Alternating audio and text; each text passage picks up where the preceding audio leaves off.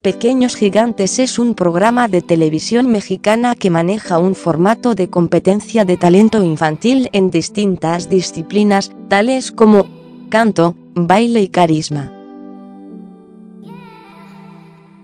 Se desarrolla bajo el formato de talento entre equipos o escuadrones, cada uno integrado por cuatro niños de entre 5 y 12 años de edad, siendo el capitán el menor de ellos, dos forman la pareja de baile y el miembro restante tiene el rol de cantante.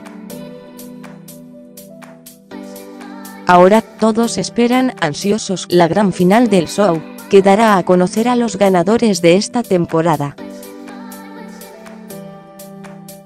Y aunque aún no se proclama oficialmente al equipo que se llevará la gloria, nos enteramos que el escuadrón ganador es el de los Superpowers, integrado por Natalia Gómez, Rodrigo Pérez Canelito, Hazlin Quintero y Aramis Ojeda, La emisión fue grabada desde el miércoles y promete muchas sorpresas, grandes números musicales, ingeniosos bailes y diversas ocurrencias de los capitanes de equipo,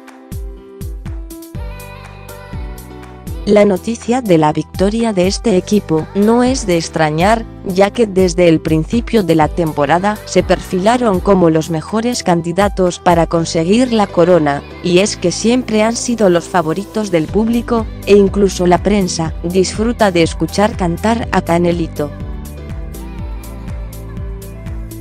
Además de conocer al ganador, también se pudo ver que Galilea Montijo, quien conduce el reality, mostrará un elegante atuendo para esta gran final, como era de esperarse, puesto que la conductora pone especial atención a la indumentaria que desea presumir ante las cámaras.